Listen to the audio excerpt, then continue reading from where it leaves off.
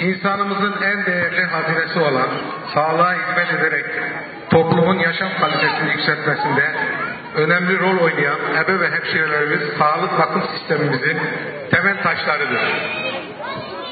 Tarihçesi insanlık tarihi kadar eski olan bu meslekler gelişerek bugünkü profesyonel kimliklerini kazanmıştır. Hemşirelerimiz bireyin, ailenin, toplumun sağlığını, esenliğini koruma, geliştirme ve hastalık halinde iyileştirme amacıyla koruyucu tedavi edici, rehabiliteci edici hizmetlerin her aşamasında görev yapmaktadır. Hemşireler hasta ve hasta yakınlarıyla en çok ilgilenen meslek mensubu olmaları aynı zamanda hekim, laborant, hasta bakıcı gibi birçok meslek grubuyla işbirliği yaparak hastanın tedavisini sağlamaları nedeniyle sağlık sistemimizin önemli unsurlarındandır.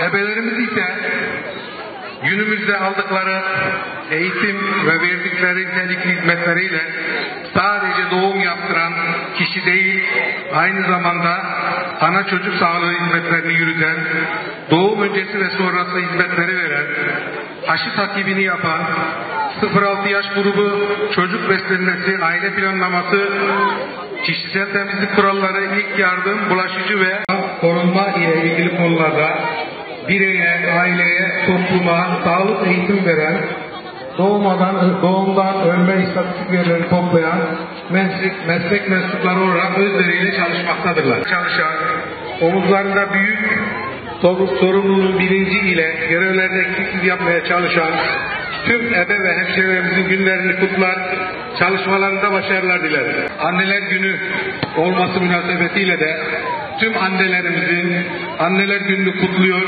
sağlıklı ve mutlu ömür geçir, geçirmelerini diliyorum. Ölmüş olan annelerimize de Allah'tan rahmet diliyorum. Hepinize iyi eğlenceler, afiyet olsun arkadaşlar. Söyle ama doğruyu